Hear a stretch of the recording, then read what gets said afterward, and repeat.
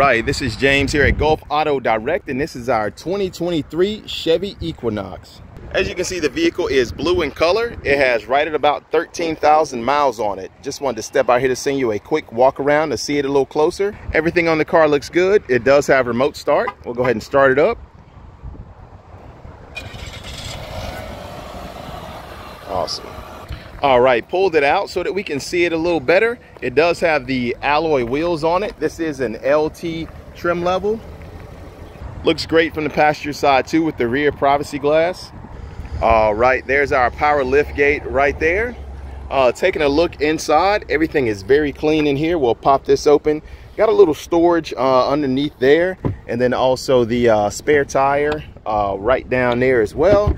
Those seats are folded down so you can see how much room you have back here with the seats down. And then once again, this is the power lift gate. All right, a quick look inside. The interior looks great. It is the black gray with the brown stitching here. We got rear AC vents down there. We also have a couple of power outlets in the rear and just kind of panning around. Everything looks really good inside this vehicle. All right, taking a look inside here. Everything looks great on this side. Very, very nice cloth interior here. Um, it is a manual seat over here, but it's still fully adjustable. We got our floor mats down there, kind of panning around the front of the cabin. Everything looks great up here as well.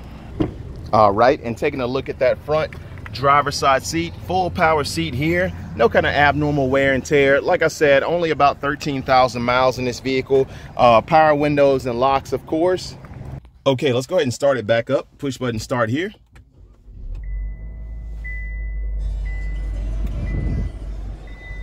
Come over here to the dash and we'll zoom in there. We can see the exact miles is 12,978 miles. Uh, let's turn that down. Let's put it in reverse.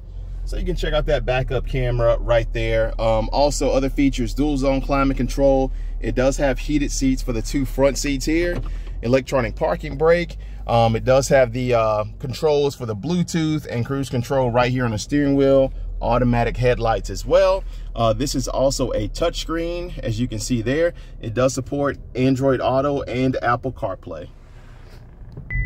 All right, just pulling around here. Go inside the garage there. This vehicle is still covered under its under the full remainder of its factory warranty as well. So with only 13,000 miles, you still got plenty of warranty left.